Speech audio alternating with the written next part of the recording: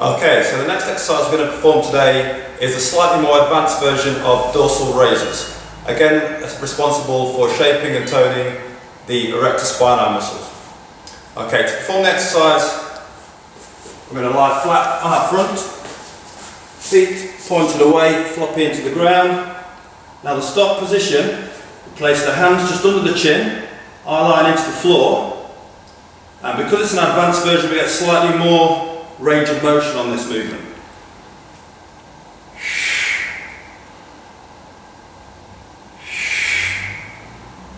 So range of motion this time coming a little bit higher, placing a little bit more stimulus through the lower back.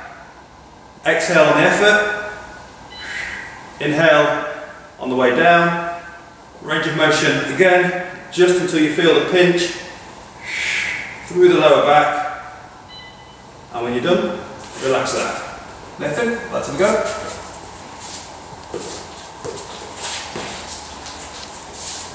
Okay, start position. Just raise the, the head off a little bit and then bring the, the fingers just under the chin. That's it. And away we go. Just come up as high as you can there. Good. So one to two seconds up. Feel the squeeze at the top. Inhale as you relax back down. Good tempo. Okay, one more rep, Nathan. Superb, and relax there. Okay, so that was the advanced version of dorsal raises for shaping and toning the erector spinae.